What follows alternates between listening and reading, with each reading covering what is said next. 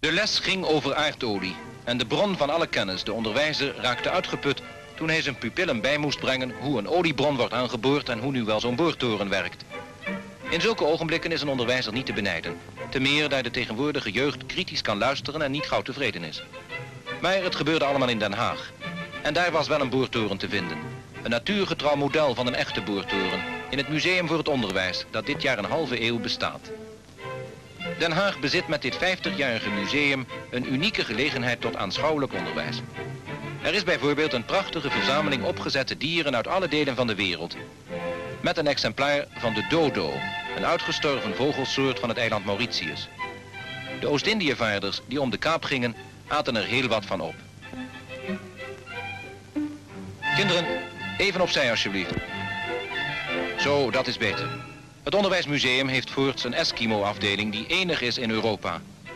Vooral de vrouwelijke leerlingen weten de exotische klederdrachten te waarderen.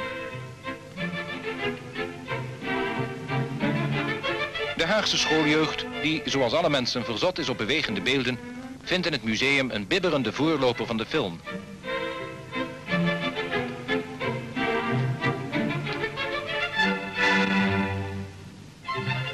De Haagse onderwijzer kan hier zijn door de radio verwende kinderen ook laten horen hoe een van de eerste grammofoons speelde.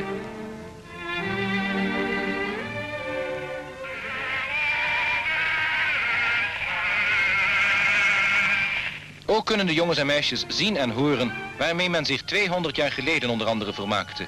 Een speeldoosje uit 1750 bijvoorbeeld.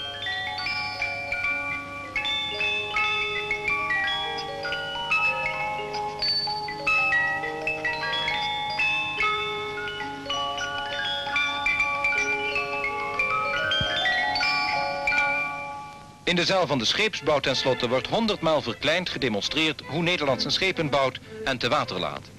De Nieuw Amsterdam loopt er elke dag weer vlot van stapel. Maar hij blijft op de werf in dit museum dat onmisbaar is geworden bij het onderwijs in de residentie.